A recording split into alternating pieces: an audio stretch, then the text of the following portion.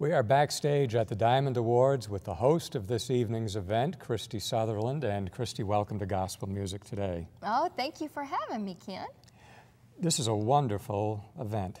Yes, I, I love the Diamond Awards. This is my second year to co-host, and um, it's really neat because the all the awards are fan voted. So um, it, it's just as an artist, it's really cool to, to be nominated for them. And and last year I won the Christian Female Vocalist of the That's Year. right. And that was exciting. And um, I'm hosting this year with Beyond the Ashes. They're a great group. They're up for a couple awards tonight, so we're going to have a good time. And of course, this is before the actual event, uh, but we will mention that uh, you've been nominated in several different categories. Yeah, I'm, I'm up in five different categories, so I'm pretty excited. Now, you have a really interesting story about the current CD and uh, the single from it. Um, we didn't realize until just recently your relationship with the uh, Barbara Mandrell family. But tell us, tell us about the recording and how that happened. Well, um, uh, let's see. I, I just got out of the studio doing my brand new album, and uh, as you mentioned, my mother-in-law is Barbara Mandrell, and she's been retired for 14 years. And she came out of retirement to co-produce this record with me. And um, the first single we released was "He Grew the Tree." It's on radio stations now. And Mom Barbara was the first artist to record that song. She recorded it in the early 80s. Um, lots of people have recorded it, but to our knowledge, it had never been released as a single. So we released it around Easter time, and um, it's pretty cool to think that one day, you know, I had a DJ tell me this. He said, "We're going to play this every Easter." He said, and and your grandkids will hear their grandmother singing it. And I said, they'll hear their great grandmother singing it too. so um, we had a great time in the studio. I've got the next single that'll be out in a few months is one that I wrote. Um, it's a duet with Jason Crabb called Greater Still.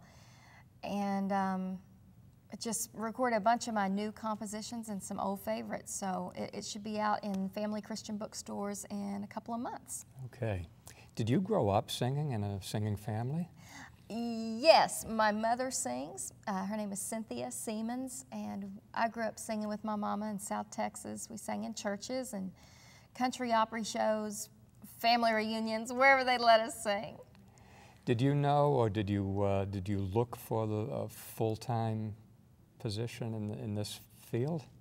Yes, um, not in this particular field. Actually, I started out as a country singer.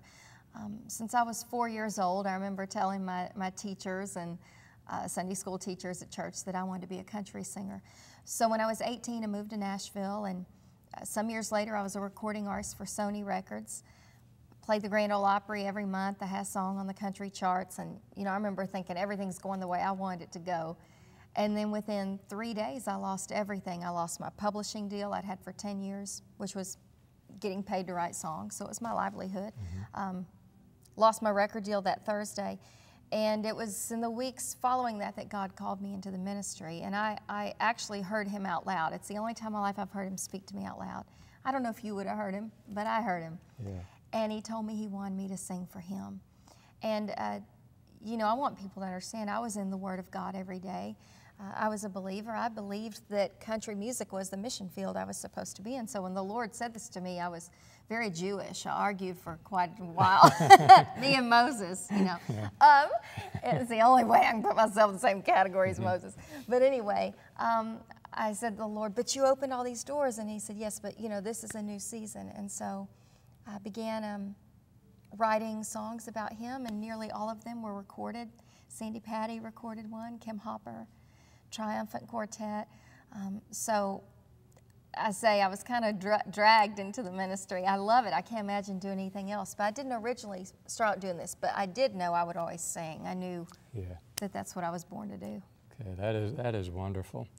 Tell me the name of the uh, that new CD again. I forgot the name. it is called Greater Still. Okay. You threw me off guard there. and uh, Christy Sutherland website. It's ChristySutherland.net. Okay.